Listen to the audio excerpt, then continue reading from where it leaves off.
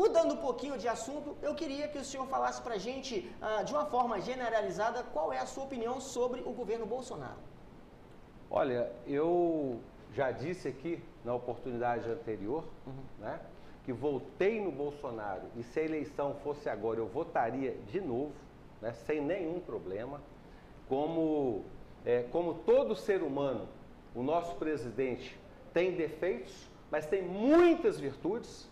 Assim como ele, eu defendo a família, ele defende a família.